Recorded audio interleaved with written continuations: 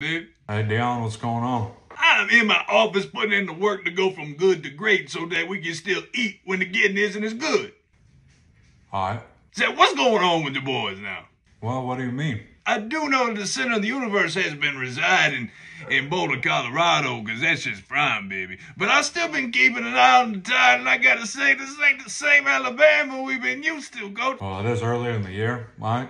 And so we're working through a little bit of adversity. I like to say that adversity provides opportunity, and I got one for you. All right, what's that?